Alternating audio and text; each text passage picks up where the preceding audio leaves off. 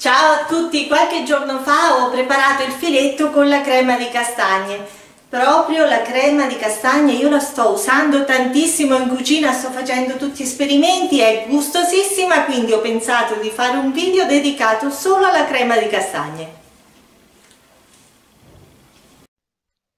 Per preparare questa crema ci occorreranno 200 g di castagne, mezza cipolla rossa, 250 ml di latte, un pizzico di sale e olio extravergine d'oliva.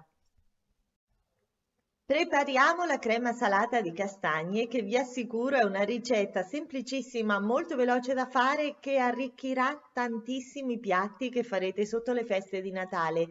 Si prepara molto semplicemente, vi dicevo, tagliando le castagne sulla parte quella piatta come si fa normalmente poi le mettiamo sul fuoco con la classica padella, quella con i buchi, direttamente sul fornello. Come inizieranno a cuocere vedrete che il taglio si aprirà parecchio e saranno esternamente belle abbrustolite. A questo punto prendete un canovaccio asciutto, le mettete tutte strette all'interno di questo canovaccio, si formerà del vapore. Le dovete far riposare una mezz'ora come minimo. Le castagne quando hanno riposato bene nel loro canovaccio si staccano praticamente dalla buccia da sole, basta praticamente toccarle perché il taglio si è allargato tantissimo. Quindi a questo punto puliamo tutte le castagne, dopodiché andiamo a prepararci per la crema, tagliando in modo abbastanza sottile a pezzi piccoli una mezza cipolla rossa, Mettiamo la cipolla in un pentolino piccolo perché in realtà quella che andremo a fare è una piccola quantità di crema, è un accompagnamento, quasi una decorazione solo molto molto gustosa di un piatto. La cipolla ci mettiamo chiaramente un goccino di olio extravergine di oliva, facciamo appassire. Come appassita la cipolla aggiungiamo le castagne e subito il bicchiere di latte.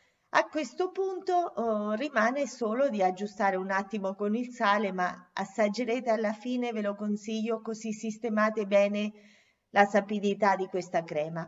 Dovrà cuocere per circa 15-20 minuti. Fate attenzione a tenere il fuoco basso in modo che non schiumi troppo il latte. Dopodiché con un frullatore ad immersione andate a ridurre il tutto in una purée, in una crema. Se non riuscite nel pentolino, trasferite il tutto nel bicchiere del frullatore.